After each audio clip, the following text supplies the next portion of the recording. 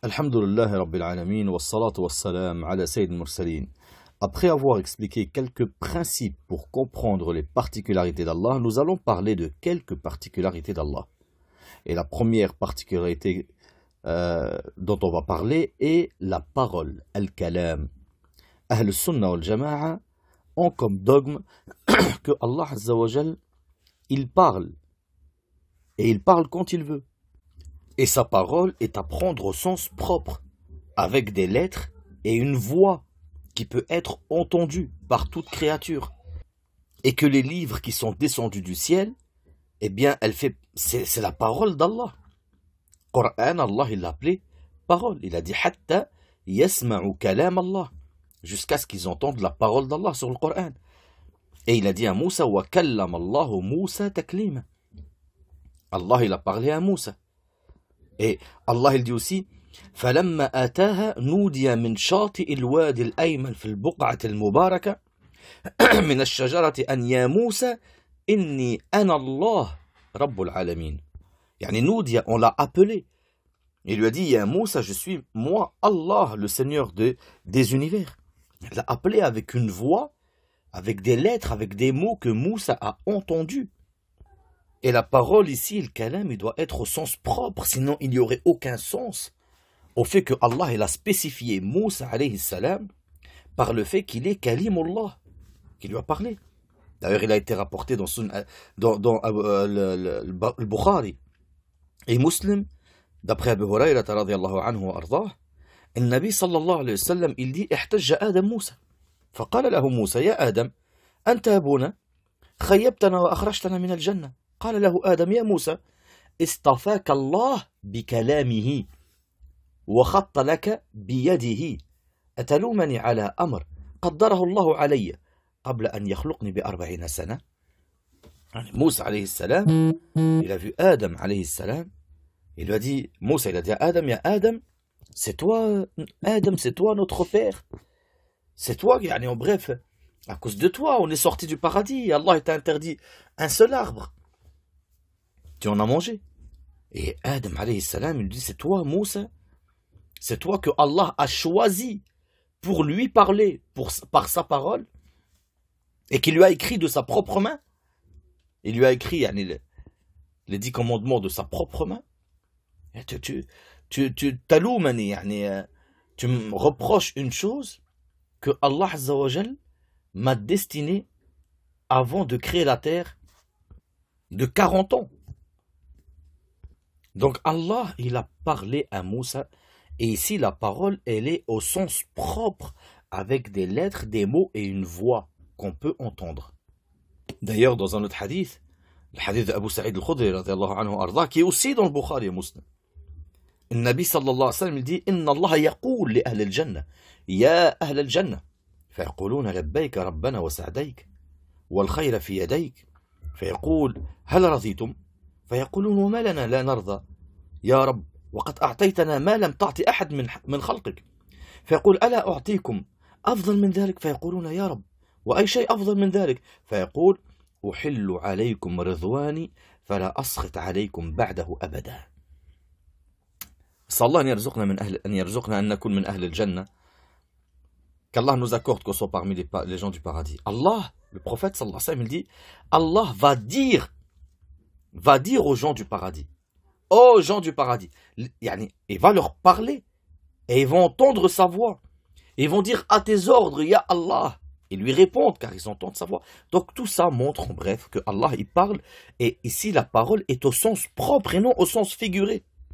D'ailleurs, apprenez qu'il y a un verbe qui dit مسمى الكلام هو اللفظ والمعنى جميعا اللفظ والمعنى جميعا pourquoi je vous parle de ce dhabt Il y a plusieurs sectaires. Certains parmi eux, ils ont dit non, Allah, il parle pas. Il a donné simplement le sens de ce qu'il voulait dans le cœur de ses prophètes.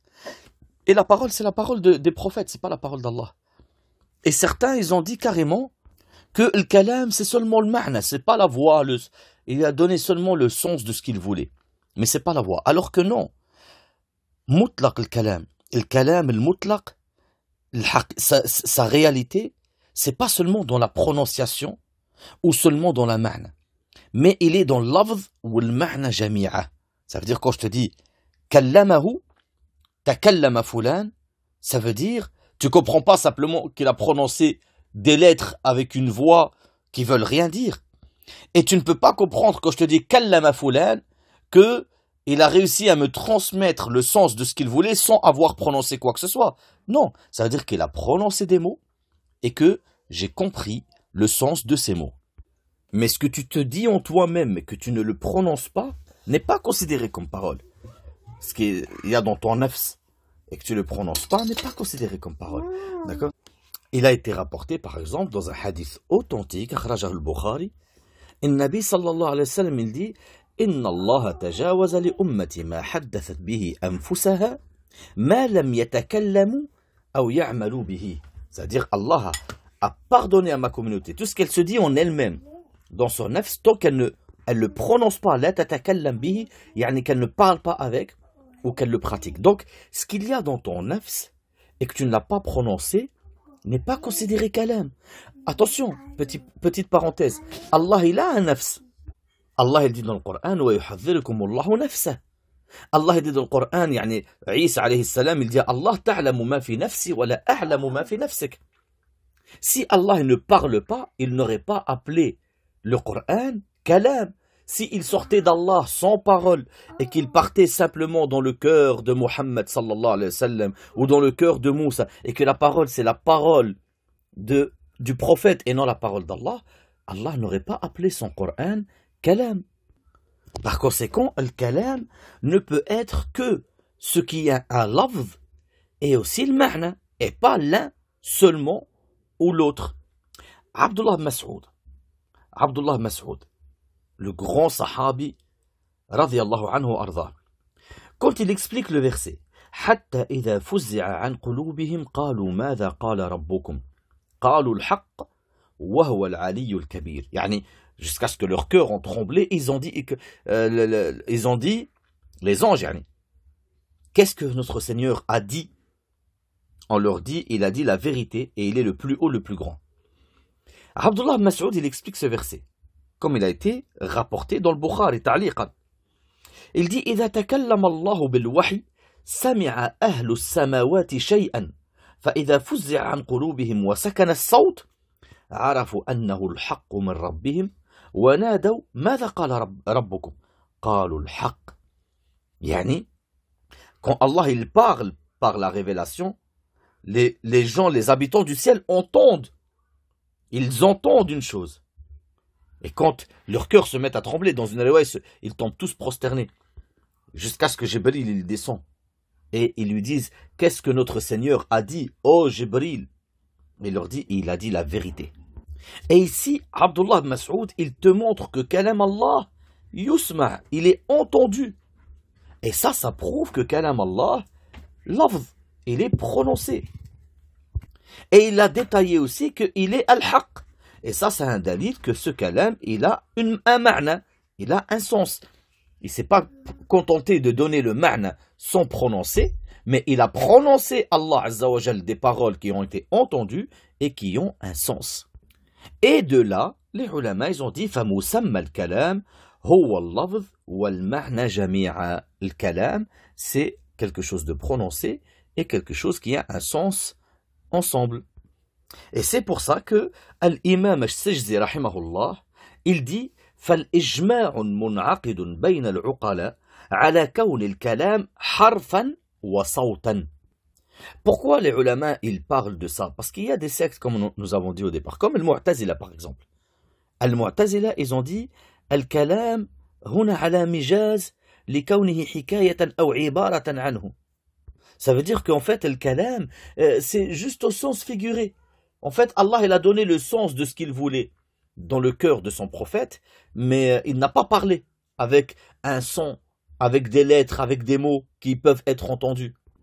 D'ailleurs, les Asha'ira aussi se sont égarés par rapport à ça. Et ils ont dit que haqiqat al-kalam huwa ma'na qa'imun fi nafs al-mutakallim. Asha'ira, ils disent Allah il parle pas et que c'est simplement il a envoyé le sens de ce que Allah voulait dans, Allah il a envoyé le sens de ce qu'il voulait dans le cœur de ses prophètes, mais qu'il n'a pas parlé. Ash'ira aussi se sont égarés par rapport à ça. Et ils se sont égarés d'ailleurs dans beaucoup d'autres choses dans l'Aqid al-Ash'ira. Et c'est pour ça aussi que même l'imam Abu al-Muzaffar Mansour al-Sam'ani, rahimahullah, lui aussi a réfuté sur l'Ash'ira aussi, en disant, en expliquant que al-kalam que la réalité de la parole c'est c'est huruf, yani des lettres, des mots, une voix qui est entendue, et aussi al-ma'na, le sens de ce que Allah aussi a voulu par ses paroles. Euh, moi, quand je te parle là maintenant, si je voulais vous donner une idée sans parler, ce n'est pas considéré comme parole. Ma parole en train de vous parler maintenant, c'est des lettres. Quand je te dis je te parle, tu le prends au sens propre. De la même manière, Allah il parle et on doit le prendre au sens propre. Et d'ailleurs, ce qu'on dit al-Mu'tazila ou al-Asha'ira, ça n'a aucun sens. Comment Allah va appeler sa parole? Kalamullah et vous nous dites que Allah ne parle pas, qu'il a seulement donné le sens de ce qu'il voulait à ses prophètes et que c'est la parole de ses prophètes. Mais dans ce cas-là, pourquoi il a dit il aurait dit qala Rasulullah Il a dit hatta yasma'u kalam Allah. Il n'a pas dit hatta yasma'u kalam Rasulillah. D'ailleurs, il y a un autre dhabt, apprenez-le par cœur. الكلام إنما يضاف إلى من قاله مبتدئا لا إلى من قاله مبلغا مؤديا الكلام يضاف tu le lis à celui qui l'a prononcé tu le lis pas à celui qui l'a propagé si moi je dis une chose tu vois et que je la dis à Mohammed et c'est moi qui a dit le ciel est bleu et Mohammed, il va dire, Mehdi a dit, le ciel est bleu. On va pas dire, c'est la parole de Mohammed. Non, c'est la parole de Mehdi et Mohammed l'a seulement propagée. Mais tu peux pas, yani, dire que ce n'est pas ma parole, que ce n'est pas moi qui l'a dit, que c'est Mohammed qui l'a dit. Je sais pas si vous comprenez un petit peu le sens. Mais le kalam, yudaf, au premier qui l'a dit. On, on, on, on associe, yani, on, on ne donne pas la priorité de cette parole au deuxième qui l'a propagée, mais au premier qui l'a dit. Ou Rasoul sallallahu alayhi wa sallam, ce n'est pas sa parole à lui le Coran. Il n'est pas هو يعني الأول المتكلم بالقرآن. هو il est مبلغ للقرآن. Il propage seulement ce qu'il a entendu de Jibril qui lui a descendu le Coran que Allah il a donné à Jibril. D'ailleurs, Allah il dit à son prophète ya rasoul balligh ma unzila ilayka. Et ici, il lui dit balligh yani informe de ce qui a été descendu sur toi de la part de ton Seigneur. Et ce qui a été descendu de, sur lui, c'est le Coran. Et ici, il montre que Rasoul sallallahu alayhi wa sallam, il n'a pas d'autre euh, chose que établir ça veut dire il, il annonce ce qu'il a reçu de la part d'Allah, le Coran. Comme il a expliqué, Abu Bakr ibn Ayyash, rahimahullah, il a dit Al-Qur'anu kalamullah, alqahu ila Jibril, wa alqahu Jibril ila Muhammad sallallahu alayhi wa sallam, minhu bada, wa ilayhi ya'oud. Il dit Al-Qur'an, il est la parole d'Allah qu'il a donné à Jibril, Jibril alayhi salam, il a donné à Muhammad sallallahu alayhi wa sallam, de lui il a commencé, yani de Allah il a, elle a commencé cette parole, et c'est vers Allah qu'elle revient.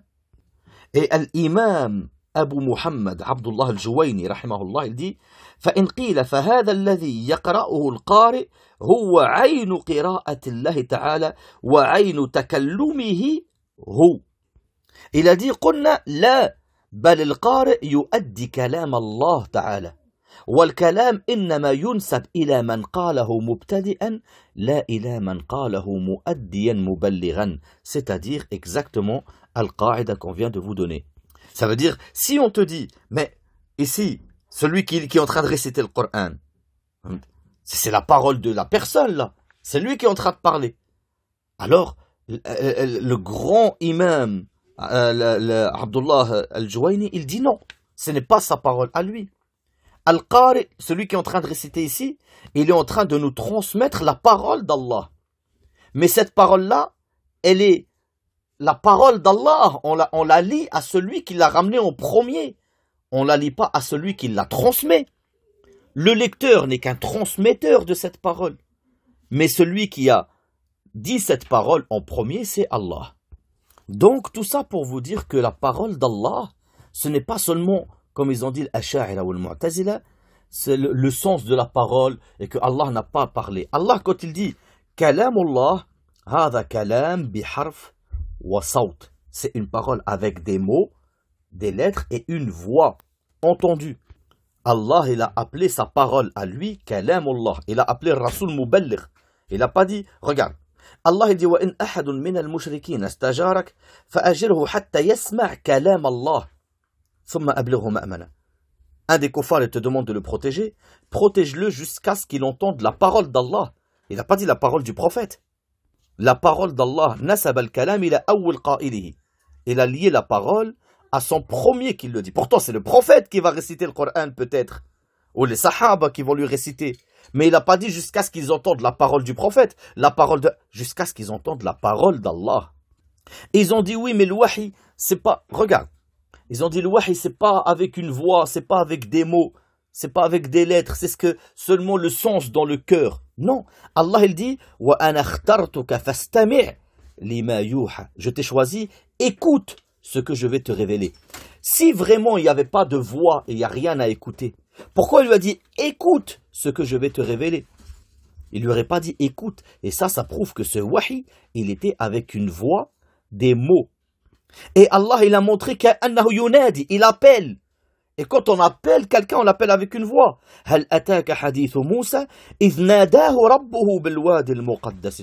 Il l'a appelé بالواد. Et rappelez-vous du hadith. إذا تكلم الله بالوحي سمع أهل السماوات شيئا. Quand Allah, il parle avec ce qu'il veut révéler, les gens du ciel entendent quelque chose. Ça montre que c'est une voix avec des mots. Abdullah ibn Ahmad, Abdullah, le fils de Ahmad ibn Hanbal, il dit سألت أبي رحمه الله عن قوم يقولون لما كلم الله عز وجل موسى لم يتكلم بصوت يعني quand Allah il a parlé à Moussa, il n'a pas parlé avec une voix, avec des mots. Il lui a juste donné le ma'na, le sens dans son cœur. Ahmed ibn Hanbal, il va répondre بلى إن ربك عز وجل تكلم بصوت هذه الأحاديث نرويها كما جاءت Il lui a dit si ton Seigneur il a parlé avec une voix, ces hadiths-là, on la ramène et on la comprend comme elle est venue, c'est-à-dire au sens propre. Et là, il y a juste de lui donner un sens figuré. Et ainsi que l'imam Abu Muhammad al-Juwayni rahimahullah qui dit والتحقيق هو أن الله تعالى قد تكلم بالحروف كما يليق بجلاله وعظمته que Allah il a parlé avec des lettres des choses qu'on entend une voix qu'on entend et attention les frères, c'est très grave de dire que Allah ne parle pas. Certains vont te dire, oui, mais nous les Maliki, on dit non, c'est pas vrai. C'est pas vrai, il n'y a pas de Maliki. Les Maliki aussi, ils disent que la parole d'Allah, c'est une parole avec les voix qui est entendue, etc. Ibn al-Qasim al-Maliki, par exemple, dans le livre Al-Bayan wa Tahsil, il dit, Ara man qal inna Allah lam yukallim Musa an yustatab, fa intabahu illa qutil. Arahu min al-haqq al-wajib.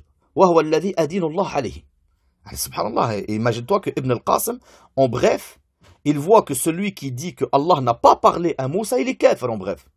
Il est kafir. Il dit, je, celui qui dit que Allah n'a pas parlé à Moussa, une vraie parole, on lui demande de faire tawba. S'il ne fait pas tawba, on lui donne la sentence du, du, de celui qui a apostasié. D'accord Donc, il faut comprendre une chose. La parole d'Allah n'est pas créée. on va en parler dans les prochains cours quand on va parler du Coran. C'est une de ses particularités.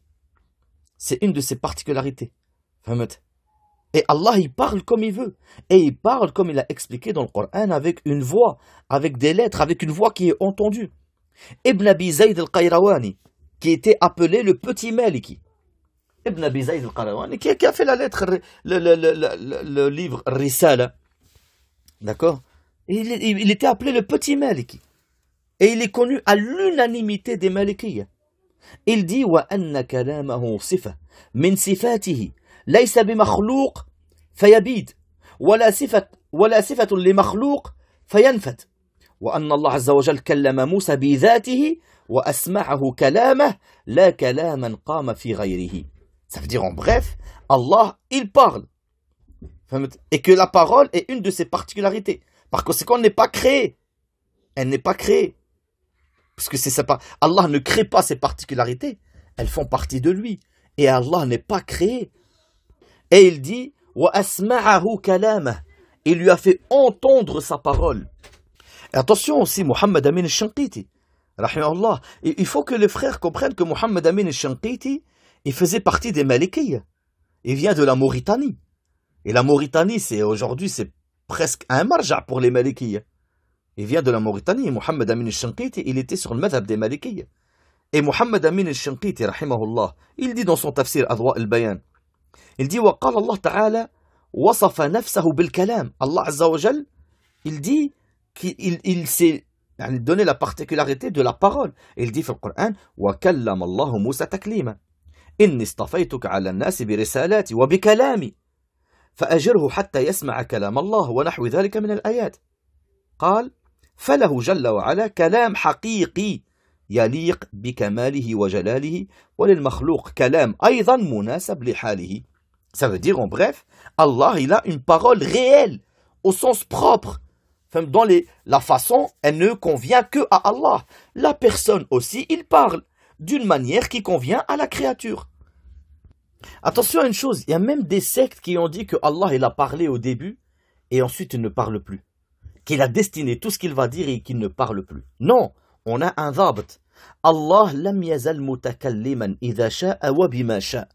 Allah ne cesse de parler quand il veut et avec ce qu'il veut.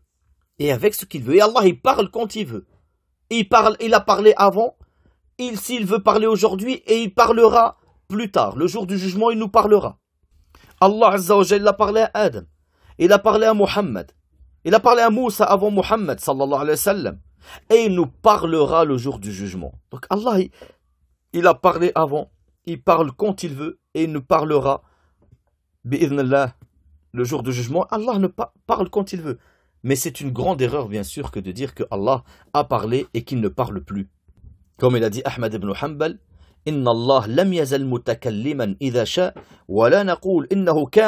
wa la yatakallam hatta khalaqa al-kalam. On dit pas Allah, on, on dit Allah, il parle quand il veut, et on ne dit pas que Allah, il ne parle pas jusqu'à ce qu'il a créé sa parole. c'est ça montre l'imbécilité de Ahl al-Bid'ah. Ils te disent que Allah a créé ses particularités.